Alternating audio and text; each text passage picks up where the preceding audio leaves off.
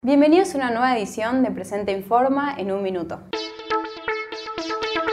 Para mantener la economía circulando, cuidar a las personas y protegerlas del COVID-19, Natura se comprometió, entre otras iniciativas, a cumplir con los contratos vigentes, apoyar a las comunidades extractivistas, reforzar su estrategia de digitalización de la venta directa y flexibilizar el pago de las cuentas de las consultoras.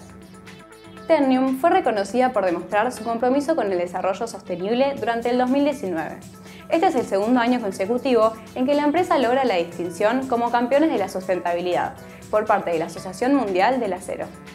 La Red Federal Pro Bono, una iniciativa del Colegio de Abogados de la Ciudad de Buenos Aires, alcanzó la cifra de 600 casos de patrocinio legal gratuito, tratados desde que se inició el periodo de aislamiento social preventivo y obligatorio. Del total, unos 234 casos se encuentran ya resueltos y terminados, lo que benefició a las personas y organizaciones no gubernamentales de comunidades vulnerables de todo el país.